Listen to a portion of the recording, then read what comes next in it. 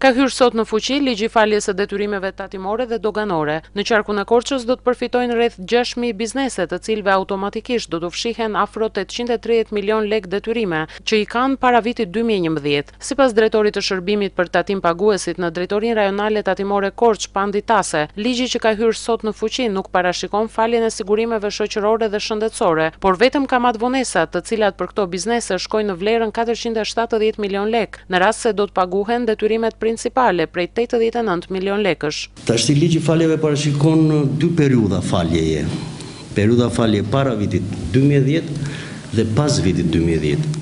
Në drejt pas vitit dy mijë e dhjetë, themi janar dy mijë e njëmbëdhjetë dhe deri në në dhjetor të vitit dy mijë e katërmbëdhjetë. Nuk përfitojnë ata që kanë detyrime në periudhat dy mijë e pesëmbëdhjetë, dy mijë e gjashtëmbëdhjetë dhe në vazhdim. Për sa i përket detyrimeve pa kusht, pa kusht janë detyrime të krijuara para datës tridhjetë e një dhjetor dy mijë e dhjetë, në biznes, në Drejtorinë Rajonale në Korçë përfitojnë afërsisht gjashtë mijë subjekte me një vlerë prej afro tetëqind e tridhjetë milionë lekë të reja.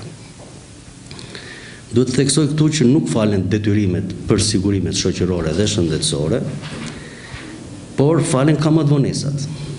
Dhe kamatëvonesat për periudhën që ju thashë, zënë një shifër për rreth 470 milionë lekë, me një detyrim principal prej rreth tetëdhjetë e nëntë milionë lekë, domethënë edhe për kontributet e sigurimeve shoqërore apo shëndetësore, përfitojnë në qarkun e Korçës afërsisht rreth katër mijë e shtatëqind subjekte, të cilat nëse paguajnë tetëdhjetë e nëntë milionë lekë detyrime principale, iu falen kamatëvonesat dhe gjobat për një vlerë për rreth katërqind e shtatëdhjetë milionë. Ndërkohë, rreth shtatë mijë biznese në qarkun e Korçës do të përfitojnë nga falja e detyrimeve me kusht.